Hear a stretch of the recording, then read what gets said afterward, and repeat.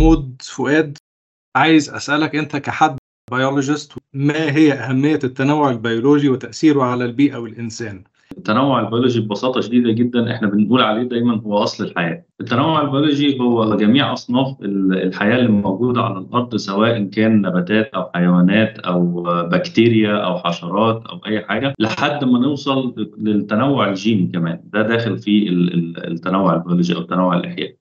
بتتجمع الحاجات دي كلها مع بعض مع مجموعة من العوامل الطبيعية والعوامل الغير حية عشان تكون النظم البيئيه وكده برضو بالبلدي بيقولوا عليها البابل أو أو البابل بتاعة الحياة.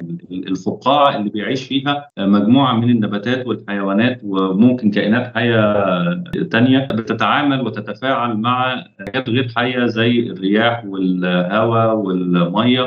إحنا حياتنا كلها قايمة على النظم البيئية. امثله للنظم البيئية اللي إحنا بنتعامل معاها دايما الشعاب المرجانية أو ال coral reefs ال seagrass أو الحشائش البحرية ال sand dunes الجبال الغابات فالنظم البيئية دي أنت لو جيت بصيت على الخدمات والسلع اللي هي بتقدمها للإنسان هتلاقيها لا حصر لها يعني. تقليل الانبعاثات الخدمات المباشرة زي الأسماك ال coral reefs مثلا على سبيل المثال بتقدم خدمة رهيبة جدا إن هي غير إنها فيها سمك ملون وبيعتمد عليها السياحة وبتيجي ناس تتفرج عليها والكلام ده كله. الشعاب المرجانية بتعتبر كحاجز للأمواج أو مصدات للأمواج بيقلل أو بيمنع آثار النحر على الشواطئ. وفي مثال بسيط جدا لو جيت بصيت على البحر المتوسط وكلنا عارفين إسكندرية والجزء بتاع البحر المتوسط ومصدات الأمواج اللي هي بتتعمل في المناطق المناطق دي وفي الساحل الشمالي مثلا علشان يقللوا عمليات النحر في الشواطئ الشعاب المرجانية بتوفر عليك كل الفلوس والمجهود ده بتعمل وظيفة زي البلوكات اللي هي موجودة بندفع فيها مليارات علشان تتعمل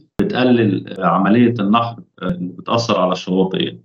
إيه هي العوامل اللي بتهدد التنوع البيولوجي وبتسبب انقراض الكائنات. يعني هي ممكن تنقسم mainly لحاجتين عوامل طبيعية ودي ما هياش ضخمة قوي زي تغير المناخ على سبيل المثال. تغير المناخ الطبيعي مش تغير المناخ الناتج عن الأنشطة البشرية اللي هي دوره تغير المناخ الطبيعية. دي برضو ممكن تأثر على التنوع البيولوجي.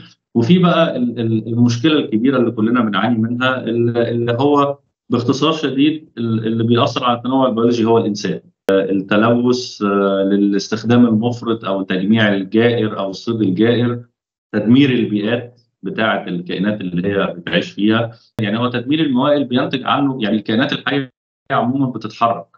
فأنت لما بتيجي بتعمل أنشطة بشرية غير مدروسة وغير معمول حساب الكائنات الحية اللي موجودة دي بتحول دون الحركة بتاعة الكائنات دي وبالتالي بتسبب مع الوقت إن أنت إنها تندثر أو تتأثر بشكل كبير زي ما قلت الاستخدام المفرط سواء كان استخدام سياحي مثلا زي الحاجات اللي بتحصل اللي هي ال mass tourism في البحر الأحمر وجنوب سيناء. التنمية العمرانية الضخمة جدا. التلوث اللي بيسموه ال marine litters دلوقتي مشكلة كبيرة جدا. الأنواع الغريبة والغازية اللي هي ال invasive species ودي مشكلة رهيبة جدا خاصة بالتنوع البيولوجي. لأن لما بتجيب كائن من مكان بيعيش في بيئة معينة ويروح مكان تاني بظروف مختلفة و conditions مختلفة ده بيسبب إن الكائن ده يحصل له blooming ممكن يحصل له blooming زي المثل الشهير والمعروف بتاع ورد النيل اللي أدخل مصر بهدف الزينة أو بغرض الزينة وبعد كده بقى يسد المجاري والممرات المائية.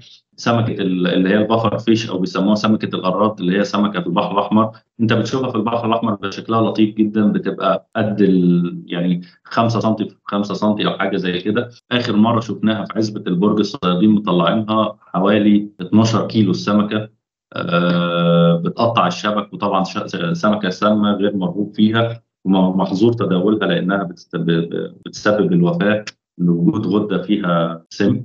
بالتالي الأنواع الغريبه والغازيه برضه من الأنواع من من المخاطر الشديدة جدا على التنوع البيولوجي. هل عندنا أنواع متضررة في مصر أو قاربت على الانقراض يعني؟ في في أنواع كتير في حاجة اسمها الاتحاد الدولي لصون الطبيعة عامل قائمة بيسموها القائمة الحمراء أو ال red list ال red list دي قائمة بتضم حالة الأنواع الموجودة في كل دولة بتحدد مستوى الخطر اللي بتتعرض له. في مجموعة من التصنيف يعني في مهدد بشكل بسيط ومهدد و ومعرض للخطر وفي مهدد بالانقراض وفي extincted بقى في الآخر اللي هو اللي هو منقرض يعني. الفكرة إن إحنا برضو علشان نقدر نقول إن في كائن انقرض أو مهدد بالانقراض دي عملية ما هياش سهلة برضو لكن نقدر نقول إن إن إن معظم حال معظم التنوع البيولوجي فعلا في الخطر. اللي أنا كنت عايز أقوله إن أنت علشان تقدر تحدد حالة الأنواع بشكل دقيق لازم بيكون بتعتمد على data بتعتمد على برامج رصد طويلة الأمد ومعلومات مسجلة كتير عشان تقدر توصل لترند معين وتقول إن ده موجود بشكل قليل أو كانت أعداده مثلا كبيرة وبدأت تقل. لكن اللي إحنا الأمثلة الواضحة والمعروفة طبقا للحاجات المسجلة عندنا التيتل أو الكبش الأروي والغزال ال Dorcas gazelle وطبعا جميع الثدييات البحرية بكل أنواعها مهددة بخطر الانقراض زي جميع أنواع ال dolphins وال whales المسجلة في البحر الأحمر أو البحر المتوسط يعني. ما هي الاستراتيجيات المستخدمة للحفاظ على التنوع البيولوجي والحد من فقدانه؟ أحد الاستراتيجيات الأساسية اللي بتعتمد عليها الدول كلها إعلان المحميات الطبيعية، إعلان المحميات الطبيعية هي أحد على فكرة هو إعلان برضه عشان النقطة دي تبقى واضحة للناس ليس الهدف ابدا إعلان المحمية الطبيعية، يعني المحمية إعلان المحمية الطبيعية ما هوش هدف، هو tool هو هو وسيلة للحفاظ على التنوع البيولوجي، الهدف بيبقى الحفاظ على التنوع البيولوجي. طبقا للاتفاقيات الدولية وتحديدا اتفاقية التنوع البيولوجي اللي هي ال CBD المفروض ان ان إن الدول في حلول عام 30 2030 تكون أعلنت حوالي 30% من المساحات بتاعتها محميات طبيعية. الهدف ده دول كتير صعب جدا إنها تحققه فبدأ يظهر tool جديد للحماية بيسموه ال OECM المناطق الأخرى الفعالة القائمة على أهداف الصون أكثر الدول اللي بتعاني من تهديد للتنوع البيولوجي هي الدول النامية أكثر من الدول المتقدمة. بيبقى مفهوم طبعا إن التوجه بتاع الدول دي هو التوجه التنموي من الدرجة الأولى. ودايما التنمية ما بتبقاش مدروسة بشكل كفاية عشان تكون مستدامة وما تأثرش على الموارد وعلى الطاقة الاستيعابية بتاعتها. ظهر المفهوم الجديد دوت اللي هو قال لك خلاص أنت مش لازم تعلنها محمية طبيعية ولكن تقدر تشوف أماكن already بتخضع لأنواع من الحماية أنواع من الحماية. وتبتدي إن أنت تحط عليها آه أو تفرض عليها نوع من ال best practices أو أفضل الممارسات. زي إيه؟ يعني مثلا المنصات بتاعت البترول اللي في البحر. منصات البترول اللي في البحر دي من الأماكن اللي هي آه ممنوع إن حد يجي جنبها وممنوع إن حد يقرب. وممنوع إن مراكب صيد تخش تصطاد الأماكن اللي فيها بريمه بترول أو منصات بترول. على فكرة دايما الأماكن اللي بيبقى فيها منصات بترول بيبقى فيها أنواع مهمة جدا من الكائنات البحرية، فقال لك ده خلاص ده مكان بيخضع لنوع معين من الحماية مش بغرض الحماية هو بغرض استخراج البترول لكن هو في الآخر بيبقى محمي بشكل ما، فخلاص بيبقى في نوع من التنسيق ما بين الجهات المعنية زي مثلا وزارة البيئة وما بين ال ال ال الشركات اللي هي في منصات البترول دي ونقول ويتقال لهم على أفضل الممارسات إن هم ياخدوا بالهم منها. مثال ثاني مثلا الأماكن اللي هي بتاعت الآثار، في أماكن بيبقى ليها مناطق خاصة بالآثار وفي نفس الوقت بيكون فيها تنوع بيولوجي عالي بتبتدي برضه إن أنت تنسى عليهم. أماكن واقعة تحت حماية أو تحت ملكيه سكان محليين زي البدو، يعني مثلا في أراضي خاصة بالبدو بالبدو في قلب الجبل مثلا في سينا زارعينها بياخدوا منها محاصيل اللي هي النباتات الطبية وحاجات زي كده فتيجي تقول له خلاص المنطقة دي تحت رعايتك وتحت ملكيتك ولكن خد بالك تجمع النباتات الطبية بالشكل الفلاني وتعمل الممارسات الفلانية بالشكل الفلاني بحيث إن هو تحسن من حالة التنوع البيولوجي عنده وتحافظ عليه. كيف يمكن للتنوع البيولوجي أن يساعد في مكافحة تغير المناخ والحفاظ على الاستدامة البيئية؟ في دراسة اتعملت بتقول إن إن خفض معدلات إزالة الغابات للنص لحد سنة 2030 يعني لحد سنة 2030 إزالة الغابات اللي بتحصل بشكل مستمر لو اتخفضت ل 50% يعني قللنا إن إحنا نزيل الغابات بنسبة 50% لحد 2030 ده هيقلل من خفض الانبعاثات بتاعة الغازات الدفيئة العالمية بمعدل من 5 ل 7 طن من غاز ثاني اكسيد الكربون في السنة الواحده فبالتالي انت يعني هتتجنب ضرر ناجم عن التغير المناخي بقيمة أكثر من 7 تريليون دولار. الشعاب المرجانية بتقدم خدمة رهيبة جدا إن هي حضرتك عشان تجابه تغير المناخ في منطقة زي الساحل الشمالي بتدفع في الكيلو الواحد أنا مش متأكد من الرقم يعني بس بس أكتر من 15 20 مليون جنيه عشان تعمل كيلو واحد من البلوكات عشان يقلل النحر بتاع الشواطئ بتاعتك الناتج عن تغير المناخ وارتفاع منسوب سطح البحر. الشعب المرجانية بتقدم لك ده for free ما بتدفعش فيه حاجة. فبالتالي التنوع البيولوجي طبعا بيأثر بشكل كبير جدا في مجابهه التغيرات المناخية وتقليل المخاطر بتاعتها. هل بتلتزم مصر باتفاقية مونتريال لحماية التنوع البيولوجي؟ هي في مجموعة كبيرة من الاتفاقيات اللي ليها علاقة بالتنوع البيولوجي ومصر موقعة عليها وملتزمة بيها زي اتفاقية ال CBD بتاعه ال Convention of Biological اتفاقية ودي أكبر اتفاقية خاصة بصون التنوع البيولوجي على مستوى العالم ودي فيها 192 دولة مصر طبعا عضو فيهم اتفاقية ال CMS اللي هي بتاعه الأنواع البرية المهاجرة اتفاقيه AEWA للطيور المائية. كل اللي أنا بقوله ده مصر موقعة عليه. ملتزمه ببنود الاتفاقية بتاعتها. اتفاقية رمسار للأراضي الرطبة. اتفاقية ال ACCOBAMS للصون وحماية الحوتيات اللي هي الحيتان والدرافيل. اتفاقية بون للطيور المهاجرة. برشلونة Convention للبحر المتوسط. وطبعا زي ما حضرتك عارف إن إن أي اتفاقية دولية أو إقليمية once ما وقعت عليها وبقيت ratified بقت بتسري زي القانون المحلي يعني. ما هو التأثير البيئي والاقتصادي لفقدان التنوع البيولوجي على المستوى العالمي؟ يعني خلينا الأول أقول لك مثال صغير على المستوى الوطني قبل ما نطلع على المستوى المحلي.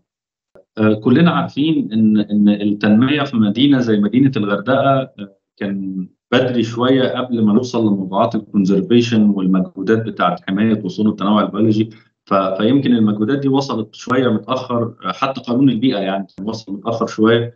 كان بدأت التنمية توصل الغردقة ويحصل فيها تنمية بشكل كبير. يعني أحد الإحصائيات بتقول ان ان ان منطقة زي مدينة الغردقة بس تم تدمير مسطحات شعاب مرجانية اللي هي عمليات الردم اللي حصلت. حوالي 5300 كيلو متر مربع. تم تقدير القيمة المادية للأضرار دي بحوالي من 205 ل 1800 مليون دولار أمريكي. طيب ده أثر إزاي بقى؟ أثر بإن هو قلل الإنتاجية البحرية بما يعادل 1400 طن من المأكولات البحرية وال seafood عموما يعني. مثال تاني الحشائش البحرية أو ال seagrass اللي موجود في البحر الاحمر في منطقة زي الغردقة تم إزالة حوالي 19 أو 20 كيلو متر مربع من من ال seagrass اللي موجود في منطقة الغردقة كانت بتقدم خدمات بيئية قيمتها حوالي 51 مليون دولار في السنة. إحنا عايزين نوصل ان ان إن الأرقام دي بتقول إن يا جماعة إحنا إحنا التدمير بتاع التنوع البيولوجي ده الموضوع أكبر أصبح من رفاهية إن إحنا بنتكلم عن الحفاظ على البيئة والبيئة دي حاجة حلوة لا الموضوع دلوقتي بيمسنا بشكل شخصي ورئيسي في موضوع حتى الرفاهية بتاعت الإنسان يعني. انت انت أنت الرفاهية بتاعت الإنسان دي أنت لو مش عايش كويس والسلع والخدمات اللي أنت بتحصل عليها ما بتحصلش عليها بشكل كويس فده بيهدد الرفاهية بتاعتك. والبعد الأكبر بقى لما رفاهيتك هتتهدد مش بس الجزء المالي لا ده أنت كمان الجزء الاجتماعي بيحصل فيه خلل كبير جدا يعني. الموضوع الاقتصادي يعني بتاع التنوع البيولوجي ده ما بقاش بسيط ابدا ولازم كلنا نبص له بشكل كبير. معروف إن طبقا لآخر أرقام خاصة بالفاو بتقول إن مصايد الأسماك العالمية بتحقق ربح دلوقتي أقل بمقدار 50 مليار دولار سنويا وده نتيجة ال ال الانخفاض في المخزون السمكي وتأثر التنوع البيولوجي بشكل كبير جدا. كده بصينا على الشعاب المرجانية على مستوى العالم كله. لو لو حسبت مساحة البحار والمحيطات اللي موجودة في العالم كله مساحة الشعاب المرجانية بتمثل منها حوالي 2% فقط. 2% من مساحة البحار كلها بيبقى فيها شعاب مرجانية. ال 2% الصغيرين اللي إحنا بنتكلم عليهم دول فيهم حوالي 3 مليون نوع من الكائنات الحية. يعتمد عليهم أكثر من 30 مليون شخص في الشريط الساحلي بس. وده يخلينا برضو نقول تاني ان إن المناطق الساحلية هي مناطق فراجايل جدا ودايناميك جدا. فبالتالي وبيعتمد عليها دايما ال livelihoods أو سبل الحياة بتاعة البني آدمين. يعني انت حتى لو جيت خدت صورة قمر صناعي بالليل لأي منطقة ساحلية هتلاقي ورا المنطقة الساحلية دي الدنيا ضلمة وهتلاقي النور كله دايما بيبقى حوالين المنطقة الساحلية الشريط اللي هو ال 5 10 كيلو دول وبعد كده بتبتدي تقل العمران ويبتدي يقل الأنشطة الاقتصادية أو اي حاجة. بدأت دلوقتي الناس تهتم والوعي يزيد شوية بموضوعات البيئة والتنوع البيولوجي وبدأ يبقى في ارتفاع بال اللي هو بيسموها ال green products بشكل كبير. بدأت الناس تهتم بال green products وبدأ يعني يعني طبقا لآخر برضه الاحصائيات على المستوى العالمي إن حصل ارتفاع بمقدار 5 مليار دولار في السنة في مبيعات المأكولات والأطعمة والحاجات اللي هي ال organic أو اللي بيسموها الخضراء يعني. وعلى فكرة ال green products دي مش بس أكل وشرب إحنا بنتكلم على ال ecotourism ال ecotourism دي تعتبر من ال green product السياحة عموما هي product يعني يعني هي هي حتى في الاقتصاد بيعتبروها منتج تصديري. أنت دلوقتي عندك مزار سياحي أو عندك resource بتعمل عليه سياحة بتجيب ناس من بره تدفع بالعملة اللي أنت محتاجها وبالتالي أنت بتصدر كأنك بتصدر منتج يعني. بس بالنسبة للمجتمعات المحلية ده هيفيدهم أو إزاي ده هينعكس على المجتمعات المحلية؟ ال eco-tourism أو أنشطة السياحة البيئية عموما هي هي ميزتها الكبيرة جدا مش بقى إن أنت بس بتدخل عملة وإن أنت بتعمل نمو اقتصادي والكلام ده البعد الأكبر يعني يعني أحد أهداف السياحة عموما أي نوع من السياحة آه إن أنت بتنقل message يعني المفروض إن الهدف بتاع تنمية السياحه التنمية السياحية عموما إن لما بيجي لك حد آه يعمل سياحة في المكان بتاعك إن هو يمشي من عندك واخد message ومتعلم حاجة آه نقلت له معلومة اديت له توعية بحاجة معينة بال culture بتاعتك بالثقافة اللي موجودة بال بال بال resources اللي موجودة وأهميتها. فأهمية ال eco-tourism أو السياحة البيئيه يعني بتحقق العائد المادي اللي هو أكبر من السياحة اللي هي بيسموها ال traditional السياحه العاديه أو التقليديه تحقق إن أنت باستدامة للموارد بتاعتك ما بيبقاش في over use أو mass tourism على لأن أنت لما بتيجي تعمل eco-tourism بتبقى حاسب ال carrying capacity بتاعت ال resources بتاعتك وبالتالي بال design النمط بتاع السياحة اللي أنت هتطبقه فبالتالي أنت ما بيبقاش في عندك over use ما بيبقاش في جهل بال resource دوت زي ما بيحصل دلوقتي. اللي جاي بيبقى جاي عارف هو يشوف إيه وعايز يتعلم إيه. الحاجة الثالثه وده الأهم إن أنت بتشرك السكان المحليين اللي في المنطقة في أنشطة السياحة البيئيه ديت. لأن معظم الأنشطة بتاعت السياحة البيئيه بتبقى موجودة في أماكن فيها local community أو اللي إحنا بنسميهم السكان المحليين أو الأصليين. ودول بيبقى عندهم مخزون رهيب جدا من الثقافة سواء كان في الأكل والشرب أو في اللبس أو في العادات أو في التقاليد أو حتى معرفتهم بالمنطقة ديت وده اللي الناس بتبقى جاية عايزة تتفرج عليه.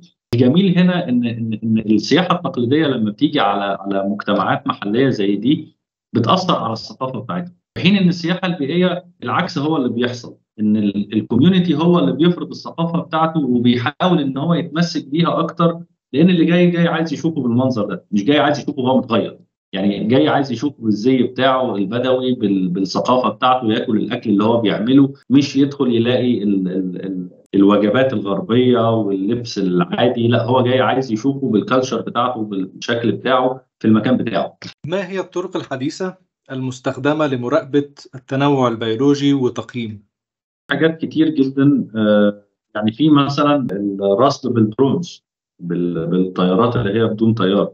ده ده أحد ال tools الحديثة المهمة جدا جدا جدا اللي نتمنى إن هي تبقى ليها rules وليها مجال في بلدنا إن إحنا نقدر نستخدمها. يعني ليها كمية تطبيقات رهيبة جدا في إن أنت تعرف حالة التنوع البيولوجي أو ترصد الكائنات الحية سواء كان على البحر أو على الأرض. طبعا التطبيقات بتاعة ال GIS أو نظم المعلومات الجغرافية في برضه ال acoustic devices دي بتستخدم في رصد ال marine mammals أو الثدييات البحرية ودي بتبقى عبارة عن cables بتنزل المية بتبتدي إنها تسجل ال clicks وال whistles بتاعة ال dolphins وال whales لأن زي ما إحنا عارفين ال dolphins وال whales بي communicate مع بعض ب clicks و whistles بالصوت يعني مش بالرؤية.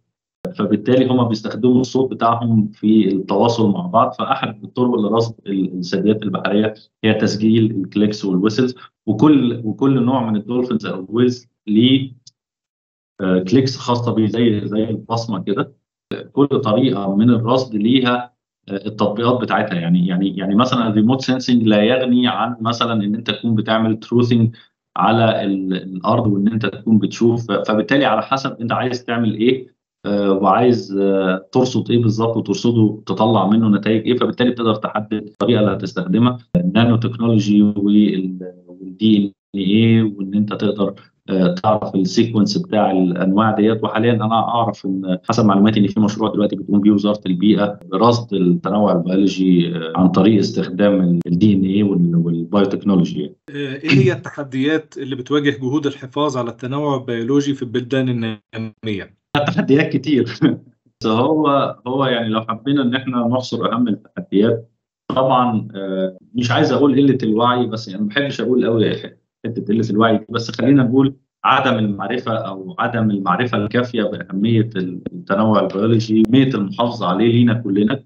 الإطار المؤسسي والقانوني أحد الحاجات المهمة جدا علشان تقدر تحقق ال conservation أو الصون بتاعك. فأنت لو ما عندكش إطار قانوني ومؤسسي كافي وفات مع الموارد اللي موجودة ومع حالتها أنت عمرك ما بتقدر إن أنت تحمي الموارد دي. أحد التحديات الكبيرة هو موضوع التمويل. تمويل التنوع البيولوجي من المشكلات الكبيرة جدا.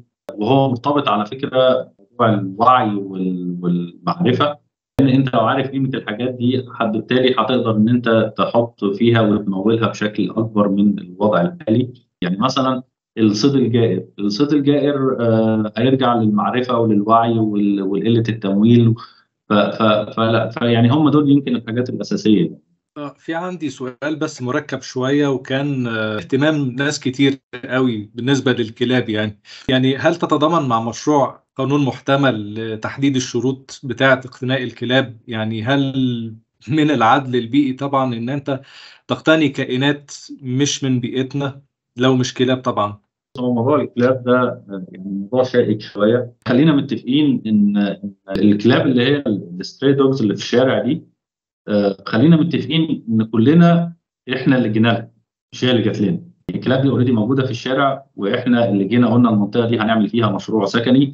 ويا جماعة بعد إذنكم يا كلاب اركنوا أنتوا على جنب إحنا عايزين نقعد هنا. وبعد ما عملنا البيوت بتاعتنا بنقول لهم إحنا مش عايزينكم عندنا. ده ده الموضوع باختصار.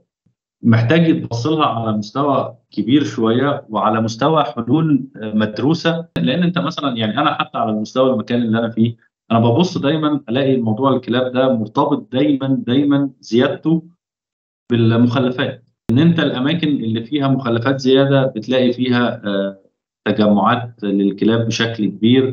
بينبشوا في ال في ال في الصناديق الصناديق ما بتتلمش فهم يقعدوا يدوروا على الحاجات اللي فيها. يعني أقصد أقول إن الموضوع محتاج يدرس بشكل متكامل مش حتة بس إن في كلاب في المنطقة مضايقانا فإحنا عايزين إن إحنا نخلص منها لأ. يعني يعني الموضوع محتاج يتعرف إيه إيه الاتراكشنز بتاعت الحاجات دي وحتى لو أنا حبيت أقلل العدد ده هقلله إزاي وهعمل فيه إيه؟ هل من خلال عمليات تعقيم عندي الكباسيتي لده ولا لأ؟ مين المؤسسات والجهات اللي هي تخش بدوت مسؤولية مين؟ يعني يعني ويبقى في توزيع للمسؤوليات بشكل يعني مدروس ما يبقاش أكبر من إنها شكوى إحنا بنشتكيها وخلاص يعني. أما بالنسبة لاقتناء الكلاب الحقيقة يعني يعني إحنا برضو عندنا كلمتك قلت لك أنت أي مشكلة هتدور عليها هتلاقيها بترجع تاني للثلاث حاجات اللي أنا قلت لك عليهم الإطار المؤسسي والقانوني والتمويل والوعي. يعني يعني أنا بعتبر هم دول أكبر مشكلات لأن برضو انت ما عندكش اطار قانوني آه إحنا عارفين ان بقى في لازم ترخيص لاقتناء الكلاب والكلام ده لكن تقدر تقول إن 99% ده لا يطبق. هي الفكرة إن أنا مش هحط تشريع وبس أنا أحط تشريع مع ضمان وجود آلية لتنفيذ التشريع ده. ولو أنا هحط تشريع ومش قادر أنفذه الأفضل إن أنا ما أحطوش.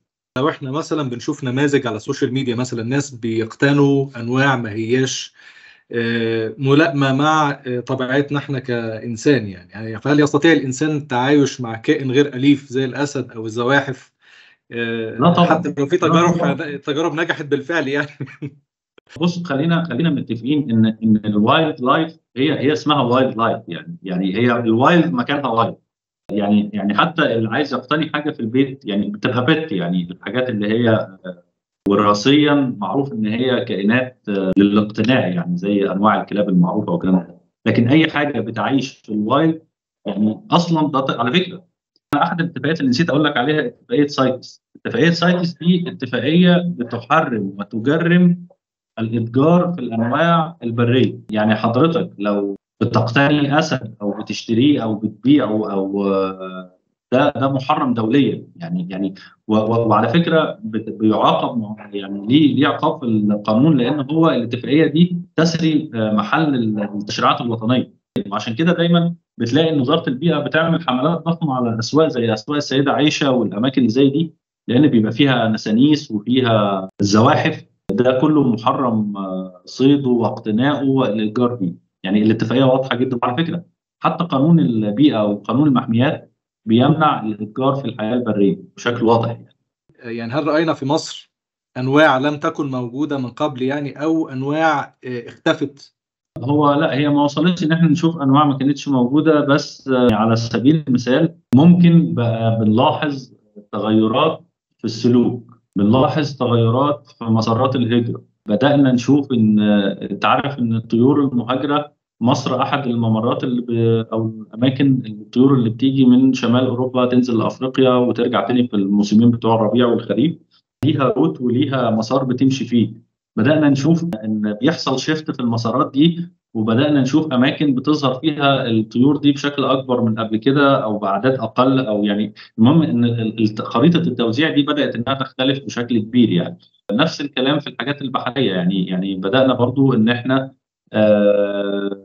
مثلا في منطقة زي البحر الأحمر بدأنا نشوف ال dolphins بشكل أكبر. والحقيقة في في نظريات كتير للموضوع دوت احدها العلاقة اللي ما بين القروش وما بين ال dolphins. إن إن كل ما القروش قلت كل ما ال dolphins زادت يعني. فبدأنا إن إحنا يعني نرصد برضو بعض الحاجات بس بس يعني خليني أقول لك برضو اللي إحنا بنقوله ده كله برضو بتبقى نوع من الافتراضات البناء على الحاجات العلمية اللي إحنا نعرفها فليه أنا مثلا في موضوع الطيور ده أجزم إن حصل شيفت في مسارات الهجرة لأن في بيانات كبيرة بترصد هجرة الطيور في مصر من كذا سنة وثبت الكلام ده آه لكن مثلا حاجة زي دولفين هل إحنا متأكدين إن هو بسبب القروش ولا لأ؟ ده مش مش متأكدين منه 100%. هو واضح إن في آه تغير كبير بيحصل، في برضه دراسات حصلت اتعملت بتقول إن ال ال الشعاب المرجانية اللي موجودة في مصر عندها قدرة كبيرة جدا على التكيف على التغيرات المناخية وتغير درجة الحرارة. بعكس الشعاب المرجانية اللي موجودة في أماكن ثانية على مستوى العالم. أحد الحاجات إن هو قال في دراسات بتقول إن إن الشعاب المرجانية اللي موجودة في مصر هتبقى هي آخر شعاب مرجانية موجودة بعد التغيرات الكبيرة اللي بتحصل في تغير المناخ على مدار السنين الجاية. طبعا في تأثير كبير على التنوع البيولوجي من التغير المناخي يعني. والاختلافات أو التغيرات في السلوك اللي رصدتوها بالنسبة لل mammals في البحر أو shift في آه والقروش. آه هل ده بسبب التغير المناخ؟ وده شيء أكيد يعني. موضوع القروش آه هو هو ما نقدرش نجزم إن هو بسبب تغير المناخ بس في نظريات كتير في موضوع القروش السلوك بتاع الإنسان آه إن الإنسان آه بيتعود إن هو بينزل يأكله وبالتالي القرش اتعود على إن في حد بيأكله. في في نظرية بتقول إن في مراكب اللي هي بتيجي من جنوب البحر الأحمر والدول اللي في الجنوب اللي هي بتنقل ماشيه بينفق منها ماشيه فبترميها في البحر. التلوث القروش دي بيبقى ليها أماكن بتحصل فيها على الغذاء بتاعها. مع ندرة الغذاء نتيجة التلوث والصيد الجائر بتبتدي إن هي تدور على أماكن تانية تحصل منها على الغذاء بتاعها الأنشطة البحرية الجديدة المستحدثة على البحر الأحمر زي الحاجات اللي هي بتاعة ال jet skis وال banana boat والحاجات دي دي برضو بتسبب نوع من الإثارة والتحفيز عند الكائنات دي تغير المناخ هو هو أحد الأسباب طبعا اللي ليها علاقة بالقروش يعني. محمود أنا بشكرك جدا جدا جدا. مهم قوي إن إحنا نسمع لآراء الخبراء بالذات في المجال ده لأنه زي ما قلت إن الوعي ده أحد أركان التغيير. وجهة النظر والخبرة وشغلك وإذا كان في سلوك إنساني غلط في البيئة ده المفروض إن إحنا ننتبه ليه ونغيره كأحد المكونات اللي ممكن بيها نعمل تغيير حقيقي. أنا بشكرك جدا جدا جدا و... أنا بشكرك يا محمد ميرسي جدا ميرسي جدا.